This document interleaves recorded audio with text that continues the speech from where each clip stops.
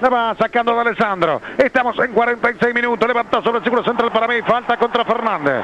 Para mí hay falta contra Leandro Fernández de Amondalán. Va a ser tiro libre. Hay tiro libre para Nacional que va a la desesperada. 46 y medio. Vamos hasta el minuto 51. Eso fue lo que repuso el árbitro central del partido. Le pega de Alessandro. Levantó a la derecha para Ocampo. Se va a quedar con ella. Allá corre Ocampo. Hay falta del Penado Cruz. Hay falta del Penado Cruz. Va a ser tiro libre. Hay tiro libre para Nacional. Que va a ir de arriba contra el arco de la Escarones. Se levanta el parque. La gente empuja contra el arco. Le va a pegar Ocampo. Es una caldera a altura de la noche. El gran parque central. Le va a pegar Ocampo. Es como un córner corto. Allá sobre el sector derecho va a buscar Carballo. Está también Fagunde. Va a la borda. Está libre Vergesio. La pide de Alessandro. La puerta larga está Polenta también. Le va a pegar Ocampo. Es una caldera. Atención. Vino el centro. Devuelve Rodríguez con el pesa. Va a saltar Vergesio. Va contra Escarone. Luego tocar sobre el sector derecho para Fernández. Quedó para Armando Méndez. Va con golpe de cabeza. Saltó la borda. Marca la media. Armando Méndez tiró. Pedían penal. Dijo que no. La van sacando a media. Fernández pegó gol.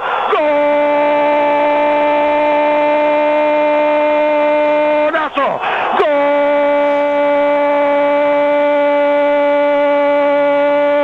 ¡Golazo! ¡Golazo de ¡Golazo de Nacional! Leandro Fernández. Le dije que era una caldera. Le dije que la gente empujaba contra el arco de los carones.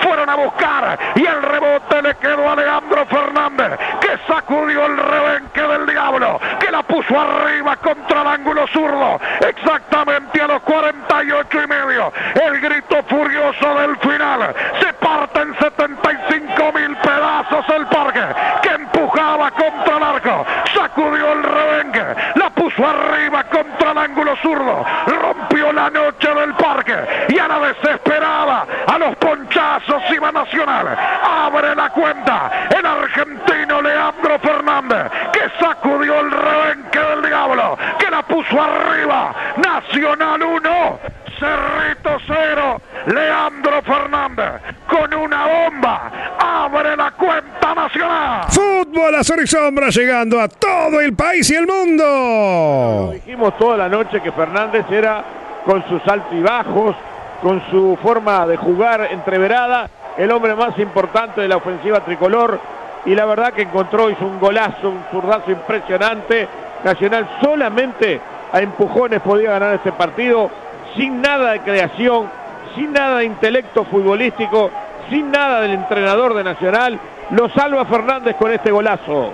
El que había querido más, el que había intentado más, no era limpio el juego de Fernández, pero era el que más intentaba ahí arriba, por izquierda, por derecha, por el centro, había aparecido por todos lados, pero nunca había tenido una como esta, de la que le gusta, ahí adentro del área y para su perfil, para poder definir un flipper adentro del área, la pelota rebotó por todos lados, todos le pegaban a todos y uno, uno que con la cabeza limpia le abrió el balón a Fernández. Se habían olvidado de él, lo dejaron solo y apareció el gol furioso del final.